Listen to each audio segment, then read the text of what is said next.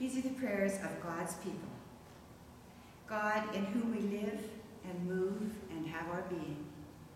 As we consider the world around us in your presence today, we are grateful to know that you are near and that your presence will not fail us, no matter the challenges we face.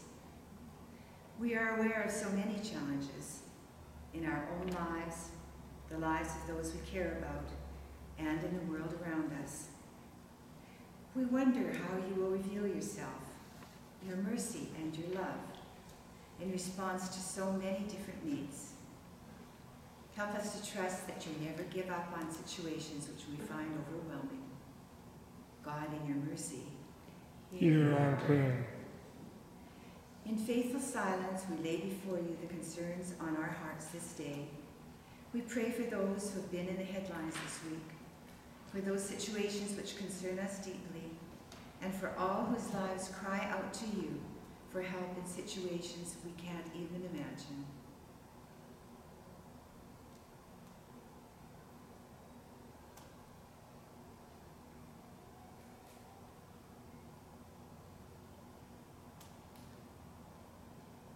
God, in your mercy, hear our prayer. We pray for those who are suffering from illness of any sort, coping with pain or with ongoing treatment, for those waiting for or recovering from surgery, for those who are bereaved or burdened by some significant loss, and those struggling with economic hardship in these uncertain times.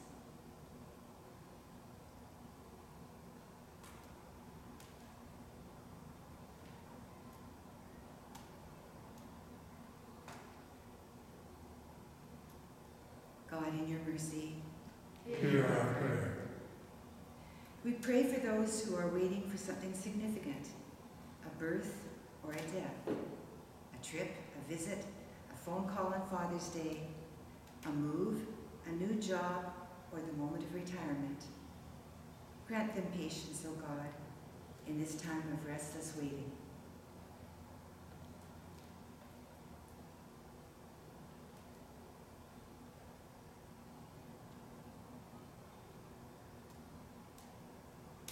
God, in your mercy, hear our prayer. We pray for the work of our church and our government in pursuing truth and reconciliation with Canada's Indigenous peoples. Empower this work, O God. Bless our congregation, its ministries, and the faithful work of all churches in our community. Unite us in our witness to the love of Jesus. Open the eyes of all our hearts to new possibilities to serve together as we pray together the words Christ taught us.